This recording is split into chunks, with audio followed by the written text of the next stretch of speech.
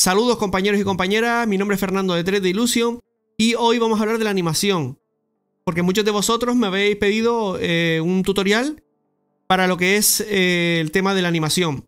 Vamos a hablar un poco de la animación, pero en este caso, en este caso vamos a hablar de la gráfica, de la animación, porque eh, los keyframes, hice un tutorial en su día de, de los keyframes y cómo funcionan en la línea de tiempo. Aquí arriba podrá ver ese tutorial o esperar al final de este este tutorial y em, repasar ese tutorial que va a afianzar y va a ser, va a ser un refuerzo de este tutorial también, ¿no? A veces es un poco complicado de explicar y de entender, ¿vale? Es una situación un poco eh, difícil, ¿no? Ya que las eh, gráficas no hacen mucha referencia al movimiento real que hace la pieza. Entonces, por eso a veces nos podemos ver un poco mm, mal situados dentro de lo que es eh, la interpretación de una gráfica, ¿no? En principio, si quieres trabajar para hacer eh, animaciones, es lo primero que quiero decir. En esta pantalla verán que hay un montón de opciones. Normalmente en la pantalla de los animadores vienen con gráficas, datos y demás. Es más eh, gráfica y datos y keyframes y demás y herramientas que mm, lo que es mover una mano así, moverla hacia allá, ¿no? Sí es verdad que lo haces a grosso modo, el blocking, pero después tienes que perfeccionarla en las, em, en las gráficas. La pregunta fundamental de todo esto es, ¿para qué es la gráfica? Pues bueno, la gráfica nos va a permitir que nuestra animación parezca más fluida y tenga un alma.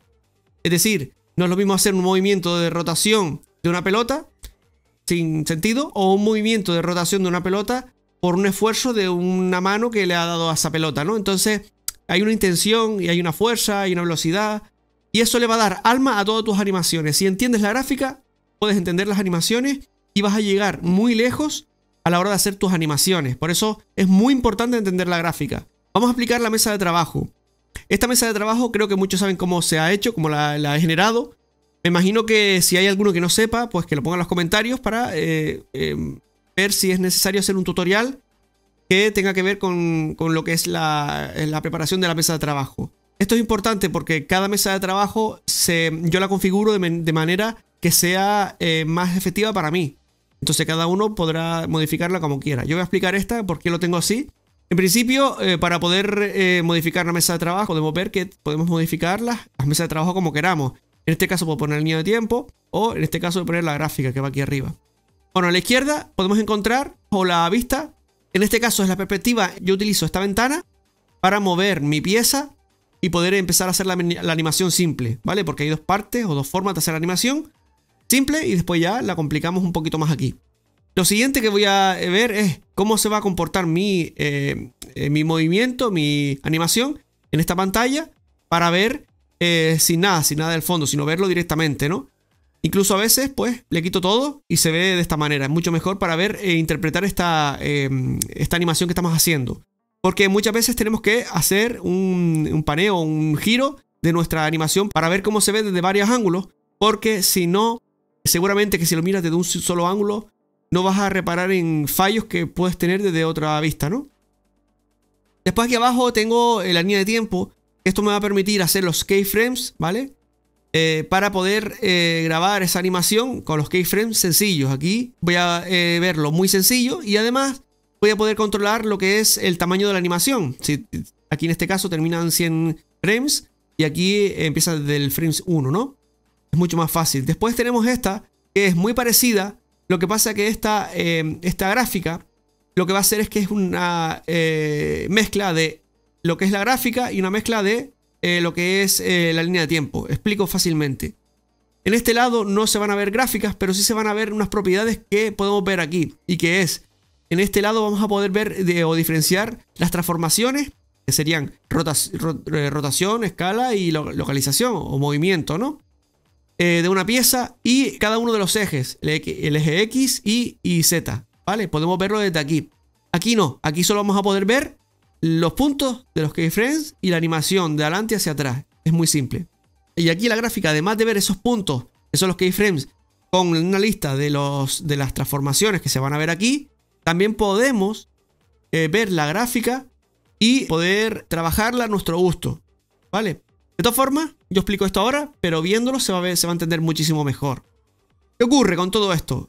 Voy a poder ver a tiempo real cada una de las gráficas y, cada, y cómo se comportan en cada una de, de las herramientas. Y en esta parte de aquí abajo lo utilizo porque cuando haces una animación, por ejemplo, haces un corto, eh, que me ha pasado hacer un corto, y quieres diferenciar una parte del corto eh, con otra parte, por ejemplo, imagínate que en el frame 50 la mano va a bajar muy rápidamente y tienes que tenerlo en cuenta porque tienes que modelar un objeto y tienes que bajar la misma velocidad. Lo estoy inventando, pero podemos entender que eso es así. O yo pongo una keyframe en ese punto y aquí abajo, por ejemplo, vamos a hacerlo a tiempo real y así lo vemos. Con la M se me queda el F41. Yo puedo decir que el F41 aquí abajo, eh, cambio de cámara, por ejemplo. Eh, creo que es más sencillo explicarlo así. ¿Qué ocurre? Que esto es un texto que yo puedo guardar yo sé que en el Frame 41 va a haber un cambio de cámara. Y aunque me lo pueda identificar aquí con el dibujo de cambio de cámara, pues, pero lo quiero identificar en una lista, pues lo tengo aquí. Que quiero imprimir esto cuando termine de hacer esta animación, por lo que quiera que sea, o poner anotaciones, o poner mañana hacer lo que sea. Entonces, esto es importantísimo. Lo único que tengo que hacer es con, eh, venir aquí donde pone texto, le digo guardar, y él me lo va a guardar como un texto y lo puedo abrir, imprimir en un procesador de texto. ¿Vale? Por esto es importante tener esto aquí para apuntar. Si quieren ver cómo funcionan los keyframes, en, la descripción podrán ver también el tutorial que les he comentado anteriormente para poder eh, ver un poco cómo funcionan los keyframes dentro de Blender. Vamos a empezar desde el frames, por ejemplo, en el 1. Y desde aquí le voy a insertar un keyframes. Hay varias maneras de insertarlo. Eh, está el de localización directamente, que es el que voy a hacer el movimiento de adelante hacia atrás. Voy a mover la pelota en el eje Y, ¿vale? Hacia adelante. Pero antes de hacerlo tengo que hacer un... colocar un keyframe de localización. Pero si yo además quiero rotar esa pelota, eh, lo bueno sería que ya pusiera un keyframes de rotación y de localización. En este caso vamos a poner localización y rotación. Esto empieza a ser más divertido. Vale, eh, imagínate que yo en el frames 90 voy a mover la pelota y la voy a mover en este ángulo, en el eje Y otra vez, y le voy a decir y otra vez y le vamos a dar otro keyframe. Ahora tiene que ser el keyframes que tengo que volver a, insertar ese keyframes con localización y rotación para que funcione correctamente. Vale, y aquí empezamos a ver cosas raras. En principio, esto se va a mover así. Vamos a verlo de esta manera, en esta postura para que se vea bien. En principio esto se va a ver así. Es una animación simple. Y aquí la pelota va a recorrer una distancia y un tiempo. La distancia que recorre va a ser de aquí a aquí y el tiempo son 90 frames. A veces es importante ver la animación por frames o verla por tiempo. Por eso utilizo dos pantallas. Aquí arriba eh, lo que lo he configurado para que se vea con eh, segundos, ¿vale? Aquí abajo, si lo quisieras ver con segundos, te vas aquí a donde pone vista y le dices show seconds. Ya él te va a dar los segundos. La parte delante son los segundos, pero no me interesa porque ya los tengo aquí. Entonces yo aquí lo desmarco. Una vez que tengo aquí los segundos, eh, en esta parte de aquí son las pistas de las herramientas que si queréis hacemos un tutorial específico de cómo funcionan cada una de las herramientas de lo que es este, esta línea de tiempo, pero creo que ahora mismo hacerlo pues puede liar mucho y puede ser pues muy largo el vídeo, pero vamos a ver algunas. Eh, lo que vamos a entender es que lo que decíamos antes, que esta es simple, después aquí podemos encontrar los mismos puntos, vamos a ver para que se vean todos. Aquí podemos ver los mismos puntos y eh, en este caso, si te das cuenta, también podemos ver más opciones. Me está diciendo, la pantalla me está diciendo, si yo despliego en esta parte de aquí, me está, me está em, ayudando un poco a identificar cada una de, las opciones. Aquí tenemos, aquí tenemos las localizaciones y aquí tenemos las rotaciones. Aquí podemos identificar que el eje X y Z igual en las rotaciones X y Z, ¿vale? Todo es fácil. Aquí es para comparar que no pueda modificarlo. Aquí es para ocultarlo. Y aquí, ven que aquí arriba se oculta la gráfica. Y esto es para eh, quitar el modificador. Si tenemos un modificador, pues quitarlo o ponerlo, porque podemos poner modificadores. Y aquí arriba es lo mismo, pero un poco más detallado. Aquí incluso te da el color de la gráfica. Por ejemplo, en el eje Y, la gráfica es em, de color verde. Y por ejemplo, en el eje Z, pues va de color azul. Que hace referencia al gizmo que tenemos aquí. Como yo solo quiero ver el eje que se está moviendo, que en este caso es el eje Y, para no liarme, vamos a eh, trabajar con esto y es mucho más fácil, mucho más sencillo. Aquí te van a aparecer los puntos de todos los ejes, vamos a quitarlo, vamos a ir, eh, bueno, yo el eje que me interesa es el eje Y. Entonces todo esto Lo voy a desocultar. Ya tengo el eje Y eh, aislado. Vamos a verlo aquí con la animación. Sencillo. Yo puedo modificar la animación con un keyframes. Es decir, como habíamos dicho antes, con la I, y activo y lo muevo. Pero no lo voy a hacer así. El objetivo de las animaciones siempre va a ser así. Si te gusta la animación y te gusta el mundo de la animación, el objetivo de la animación es que esta pantalla se mantenga lo más limpia posible y al igual que esta. Lo siguiente que debe indicar es que con las gráficas podemos ahorrarnos en situaciones esos keyframes que están de más y además en este lugar es donde vamos a dotar nuestra animación de alma, ¿vale? Importantísimo, aquí vamos a dotarla de alma para que se mueva de la manera que nosotros queremos y con las fuerzas que nosotros queremos. Vamos a hacer una fuerza y vamos a identificar que alguien empuja la pelota y que a medida que va llegando hasta el final va un poco más lento. Pues lógicamente lo que vamos a hacer es que si la gráfica este es del eje X, una de las cosas importantes que quiero que se te quede antes de seguir es que esta barra de aquí que pone 40, menos 20, 0 y 20, esto hace referencia al espacio recorrido de la pelota. Es el espacio recorrido, sea en cualquiera de los, ejes. Este es el espacio recorrido. Y este de aquí arriba es el tiempo recorrido. ¿Vale? Vamos a volver a decirlo, es decir, espacio es el que va desde aquí, la pelota hasta aquí, y, se va a llegar, y va a llegar aquí. Pues, desde aquí hasta aquí. Esto lo debe identificar esta barra, y el tiempo lo va a identificar el de arriba. Eso sí lo sabemos todos y sabemos cómo es. Pero importante, porque tienes que ubicarte y a veces cuesta un poco entender que esta, que esta barra y hay que acostumbrarse, hay que... Es decir, esta gráfica lo que me está diciendo es que desde aquí hasta aquí ha recorrido un espacio desde aquí hasta aquí arriba. Este espacio es lo que va a recorrer. Por eso tenemos una cruceta aquí, para identificar la parte de arriba que es el tiempo y, y desde arriba hacia abajo que es el espacio. Desde aquí hasta aquí ha recorrido un espacio y desde aquí hasta aquí ha recorrido un tiempo. Si nosotros queremos, como habíamos dicho, que con la gráfica modificar esta pelota para que tenga una impresión de que aquí se le ha dado una fuerza y aquí en la parte final el tiempo va más lento, aquí va a ir más rápido y aquí va a ir más lento. Para eso necesitamos que esta, esta gráfica tenga eh, una caída. Para eso vamos a con la G y con la X movemos al máximo, ¿vale? ¿Qué va a hacer esto? Vamos a ver qué va a hacer. ¿Te das cuenta? Fíjate la animación otra vez. ¿Qué ocurre? Que todavía eh, tarda un poquito en arrancar. Y es porque ves que aquí está el recto, recto, recto. Y empieza a arrancar aquí. Cuenta bien, si lo vamos a hacer por keyframe, ves que empieza a moverse despacito. Y aquí, cuando empieza a arrancar. Si yo quiero que esta parte sea más pronunciada, voy a decir con la G, lo voy a mover hacia arriba. Para que esto tenga esta fuerza. Vean cómo va toda mecha. Si, no, si lo queremos más, más, menos pronunciado, podemos ir aquí y decirle que, ¿ven que que queremos que sea más lo más em, cercano a esto y sea un poco más fluido, por la G.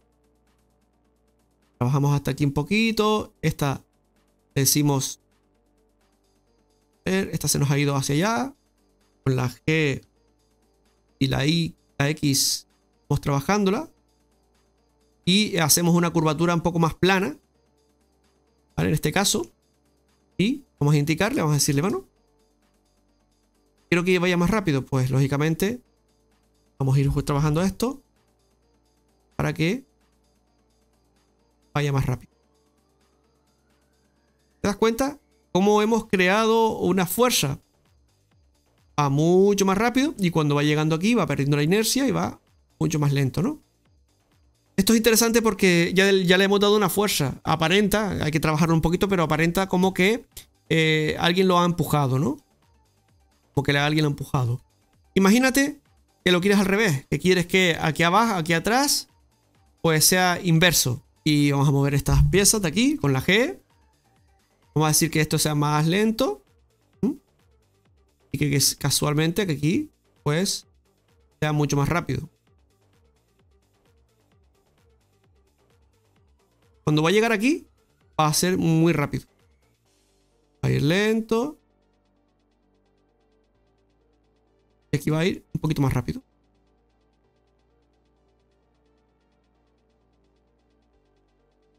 Queremos que vaya muy rápido al final con la G.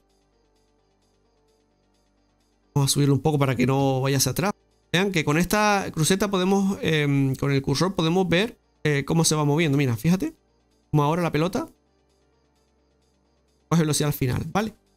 Esto puede ser interesante para, eh, por si a lo mejor en esta eh, opción podemos ver que ahí aquí está recto y de aquí hay una cuesta. Entonces necesitamos que la pelota vaya más rápido cuando llega a la cuesta. Entonces, esto te va a identificar ese movimiento. Fíjate que estamos generando fuerzas a través de la gráfica. Y son intenciones. Imagínate una mano, un pie, cómo se mueve más rápido, más lento, dependiendo de la fuerza, de cómo se, encuentra ese personaje y demás.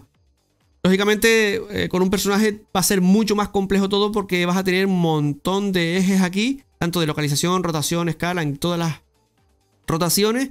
Eh, bueno, de escala no, pero sí de localización y de eh, rotación vas a tener un montón de gráficas. Entonces, si entiendes una gráfica sencilla, después ya la puedes ir complicando.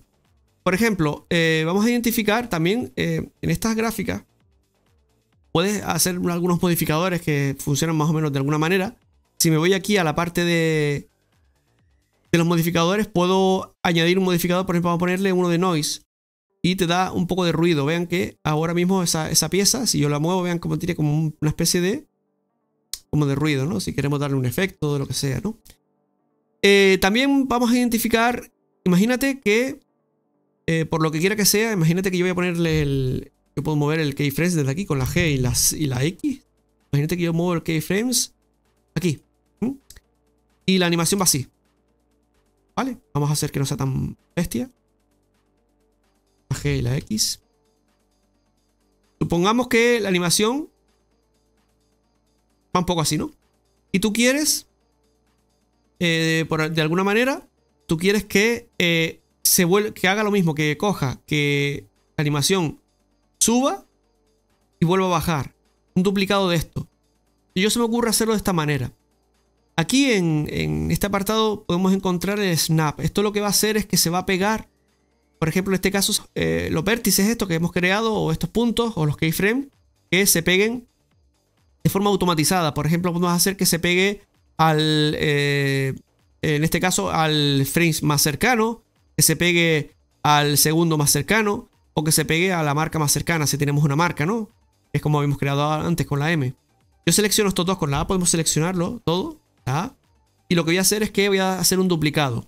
Para hacer duplicado con mayúsculas D, ya tengo el duplicado. Pulso para que se mantenga en el sitio. Y ahora lo que tengo que hacerle es decirle que me haga un espejo de lo que tengo seleccionado. Para eso voy a poner esto aquí, para que el espejo me lo haga desde aquí para que la siguiente parte me la pegue aquí. Lo que voy a hacer es que ahora presiono Control M y se me despliega un menú que hace referencia al mirror. En este caso lo que vamos a hacer es que sea la línea de tiempo. Le doy aquí y fíjate como él me, me ha generado otro mirror aquí. Vale. Eh, si te das cuenta tengo aquí pues dos, se me han generado vértices. Para eso lo vamos a seleccionar con vértices. Le voy aquí y le voy a decir snap, snap a que se pegue. Le voy a decir que me lo pegue eh, al, frames. Le doy y se me van a pegar al frame, que es esta parte de aquí. Eh, esta línea azul. Ya se me pega al centro y se me, y se me borra. Entonces ya no tengo duplicado. Voy aquí y tiro. Pero ¿qué ocurre? Que si yo muevo esto eh, con la G, aquí tengo como varias marcas, ¿no? Tengo como cuatro, una aquí, otra aquí. ¿Esto qué es? Esto es porque todavía no está fundido. Voy a la X y le digo clear frames y ya está. Ya no me va, me va a quedar fácil. Bueno, pues ahora, ¿qué va a hacer la animación? ¿Va a ir hacia adelante? ¿Y va a ser hacia atrás? Con la misma eh, inercia. Lo mismo, vamos a hacer lo mismo en el mismo punto. Es una manera de duplicar esta geometría a la inversa, ¿no? Y aquí empezar, podemos empezar a trabajar esa gráfica y cómo queremos que se interprete.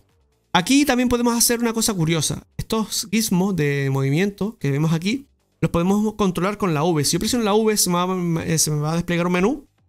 Me va a permitir trabajar esos yo voy a usar, este va a ser para poder eh, intercalar entre uno y otro. Ven que yo puedo mover independientemente un brazo o otro de, lo que es ese tirador, ¿no?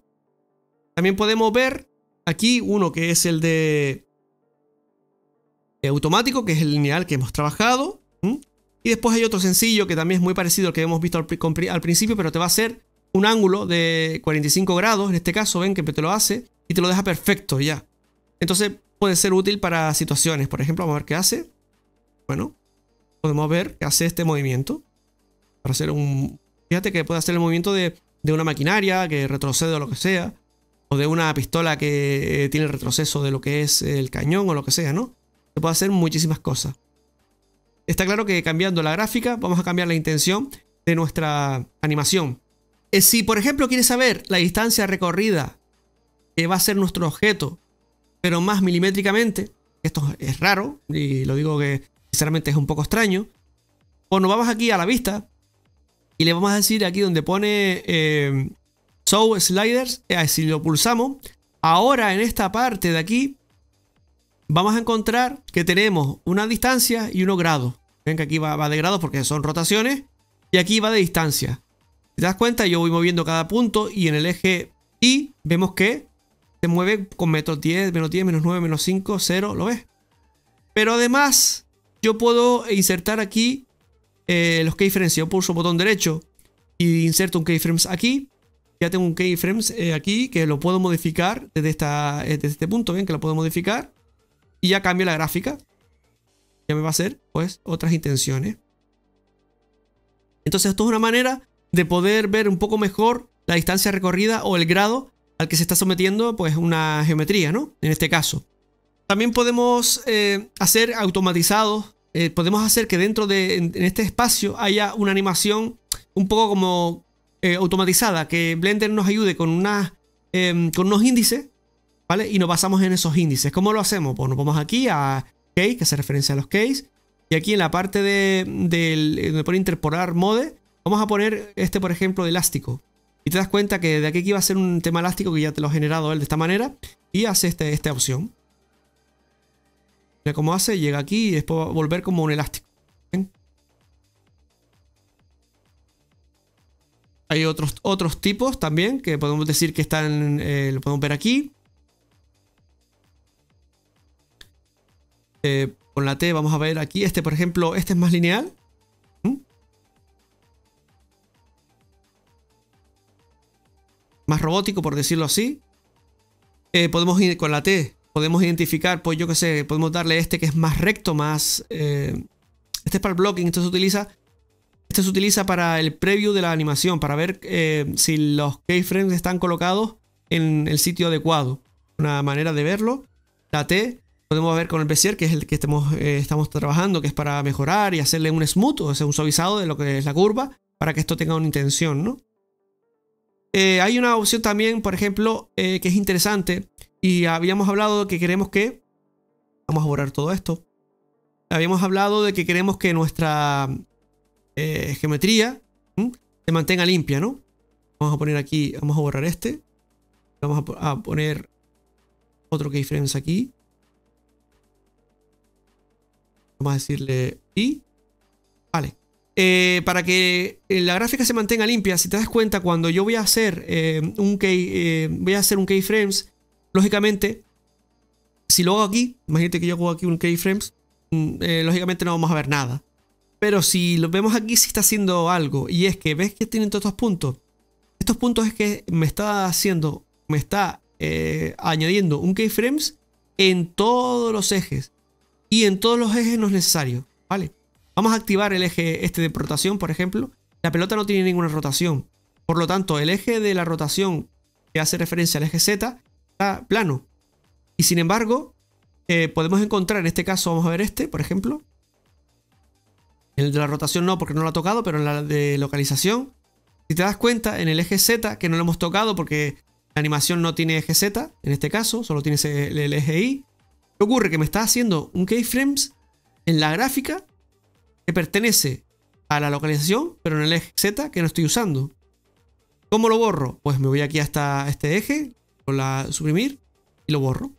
Pero sin embargo, si me va a eh, mantener el keyframes que está aquí en el eje Y. ¿Vale? Es decir, que podemos también seleccionar qué eje queremos a qué eje queremos que solo se aplique esa, ese keyframes, ¿vale? En, este, en, este, en esta transformación del eje X, Y y Z. Imagínate que lo quiero hacer automatizado, no tengo que estar borrándolo porque es un desastre, tener que estar buscando en todos los ejes y limpiándolo. Para hacerlo mucho más fácil, y, que esto sí, y que esto funcione correctamente. Vamos a ver si en este hay alguno. Vamos a borrar este, por ejemplo. Y vamos a ver si en las localizaciones también, las rotaciones también tienen el keyframes. Vamos a ver esta. Esta no. En esta sí, en el eje Y tiene aquí. Tengo que borrarlo. No está haciendo nada. Y aquí tampoco. Haciendo nada tampoco. Bueno, pues esto es un rollo. Así de claro. Esto es un, rollo hacerlo así. Hay una manera muy fácil de hacerlo. Y eh, vamos a centrarnos en este eje. Y, dejar activar los demás para verlo. Y, eh, por ejemplo, yo voy a poner un keyframe aquí. Le voy a dar una I. Y él me va a decir, a ver, ¿tú dónde quieres generar ese case? ¿En todos los canales? ¿En todos los canales? ¿O solo en el, canal que tienes seleccionado? Yo digo, bueno, yo quiero que esté en el canal que tengo seleccionado. En este caso solo. Le digo, eh, ok se me va a generar este keyframes aquí, pero si vamos a mirar los demás, vemos que no tiene, están limpios, ¿ves? Que no tiene nada. Entonces es una manera de tener siempre limpia nuestra gráfica. Por eso con esta gráfica, con este lado, no vamos a ver si realmente nuestra gráfica está limpia. Lo vamos a ver aquí. Aquí sí lo podemos comprobar. Vemos que tenemos... Vamos a ocultar, eh, a ver, en este caso, eh, vemos que en este lado tenemos aquí en el eje, en, las transformaciones del objeto, eso es en todo el objeto, que es la parte que se ve aquí. Pero aquí abajo vemos que hay una limpieza, que por ejemplo en el eje de localización aquí no hay nada. Está perfecto. En este eje de localización sí está, porque es el, que necesito. En este tampoco hay nada, en este tampoco, en este tampoco y en este tampoco. Esto me ayuda a ver que solo hay un keyframes en el eje y, y es el correcto. Es el que quiero que tenga el keyframe. Por eso esta gráfica es interesante y funciona para eso. Nosotros podemos también añadir una segunda cámara. Yo puedo ver aquí, por ejemplo, en las marcas, en eh, puedo generar una marca. Yo aquí añado una marca. Lo puedo hacer con la M, tantas marcas, como quiera. Pero además de la marca esta, vamos a seleccionarla. Y podemos decir que con el botón derecho en, la puntita esta la podemos seleccionar. Podemos cambiar el nombre de esta marca, sí lo podemos hacer. Yo me voy aquí y le, pongo eh, renombrar, voy a poner aquí central, por ejemplo. podemos hacer que, eh, esto es interesante porque podemos hacer eh, varias marcas para identificar ciertas partes de nuestra eh, animación y ver pues, algunos datos que nos interesan, ¿no? Esto también podemos hacer que la gráfica se adapte a esta marca. Podemos hacer que un vértice o un, lo llamo vértice o este keyframe se pegue a la marca. Lo podemos hacer perfectamente. lo más mm, que quiero identificar en esto para terminar con el tutorial y por lo menos entender todo esto quiero eh, identificar, podemos hacer, eh, esto lo, si lo explico en otro tutorial que puede ser interesante solo de esto. Yo puedo hacer que en una, em, en una escena hayan dos cámaras y que quiero que a lo mejor en mitad de la escena se cambie de cámara de vista. Lo puedo hacer automatizado. Yo aquí eh, coloco la pieza esta aquí, lo que es el, el cursor. Y aquí en marcas le añado una marca de cámara. Y ya me va a generar una marca de esa cámara. Puedo añadir otra cámara y así, y hacer varias cámaras de esta misma vista. Te digo, si quieres que hagamos uno, eh, un tutorial específico de lo que es las cámaras, pues lo podemos hacer para la animación de las cámaras. La gráfica es súper útil a la hora de hacer una animación pues refinada y más profesional. Entonces, creo que este vídeo es eh, interesante porque lo puedes repasar varias veces para ver las herramientas. Si quieres que hagamos más hincapié en todas las herramientas que, podemos encontrar dentro de una gráfica, pues ponme en los comentarios y así explicaré para todos ustedes eh, con más profundidad el tema este de la gráfica, de lo que es las herramientas que tiene Blender para esta gráfica. Creo que este curso va a ser interesante para muchas personas que pedían un poco saber un poquito más y es este punto donde tienes que aprender a realizar este tipo de, animaciones. Esto, si te gusta la animación, es importantísimo. Otra cosa que quiero decir es que en la descripción vas a encontrar, por ejemplo, yo utilizo una pantalla, es una Dell, en este caso me va muy bien para las animaciones, pero que eh, es de 17 pulgadas. De menos viene, viene extraña si te gusta el mundo de la, de la, animación, porque como vas a tener que dividir la pantalla en varias herramientas para poder ver em, cada una de las herramientas a tiempo real, pues es interesante que la pantalla sea un poquito grande, ¿no? Entonces en la descripción te voy a poner la pantalla que estoy usando yo por si no te quieres gastar mucho dinero. Y si quieres, puedes y necesitas gastar un poquito más dinero, pues em, puedes comprar una pantalla con, con, más resolución, con 4K, por ejemplo, que esta no lo es y poder ver mejor. En la descripción te pondré algunas pantallas que van bien y se ven perfectos para poder hacer este tipo de animaciones. Si te gusta la animación, ¿no? En principio. Creo que se puede entender bien cómo funcionan lo que es la, las eh, gráficas y podemos hacer más hincapié en este tipo de opciones para poder mover, pues eh, hacer animaciones más fluidas. Por ejemplo, yo al final no hice la rotación de la pelota, pero podemos em, hacerlo en otro tutorial. Si me lo ponen en los comentarios, podemos ver en otro tutorial cómo hacer la rotación y la localización y cómo podemos empezar a hacer una animación para que sea fluida y no te pierdas con tanta gráfica, ¿no? Podemos hacerlo. Espero que te haya gustado este tutorial, espero que te sirva para tus animaciones a partir de ahora y hayas entendido algunos conceptos importantes dentro de Blender. Y eh, nos vemos en el siguiente tutorial. Muchas gracias, nos vemos.